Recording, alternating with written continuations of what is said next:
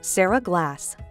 Gold Award recipient Sarah Glass undertook the Mindfulness Rooms project for her Girl Scout Gold Award during her senior year at Bonita Springs High School.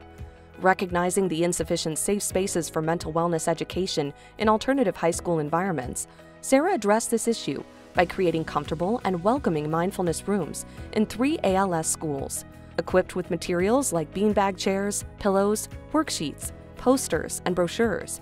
She made the project sustainable by involving ALS schools to continue utilizing the spaces beyond her involvement.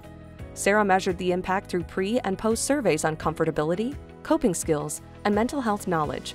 Through this project, Sarah learned valuable lessons in time management, self management, and discipline. When I was in school, I didn't have spaces to go to to decompress. I would just have to sit in my classroom and kind of suffer, or go to the bathroom, or call my parents to pick me up. So if I had those spaces in school, it would have really helped me. It's made me more confident for college, I would say. I feel more grounded.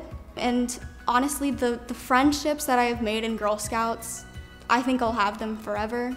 I'm no longer in my troop, obviously, but I still have contact with most of the girls and I visit them when I come back from college. The friendships are really the thing that kept me in Girl Scout, it's, and I'm really grateful for the relationships I have because of it.